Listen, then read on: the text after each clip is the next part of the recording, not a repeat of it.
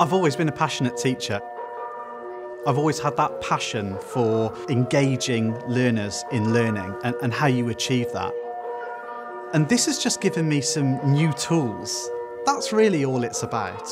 They've got a pencil, they've got a pen, they've got a ruler, they've got a calculator. And now they've got an iPad. We're at the very early stages of our journey.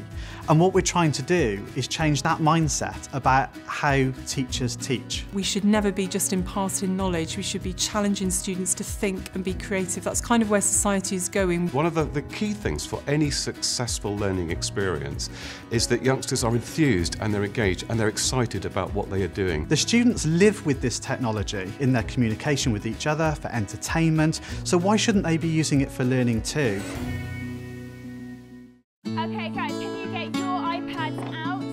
Before you had iPad, the teacher would uh, stand at the front, write that, draw that, and it was very much teacher-led. But now, it's really turned that on its head. So they can choose to make a video clip, they can choose to make an animation, they can choose to make a presentation, they can choose their sources of information, and they're not limited anymore to the small range of textbooks that a teacher might provide. And that's hugely enabling and liberating for young people.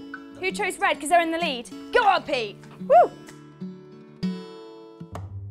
When you combine iPad with a learning platform, it just becomes so easy. You're going to see iPads in geography, where they're going to be able to travel the world with Google Earth. In English, the iPad can speak text and you can dictate into it, so those barriers of reading and writing are broken down. In biology, sociology, psychology, and that's amazing.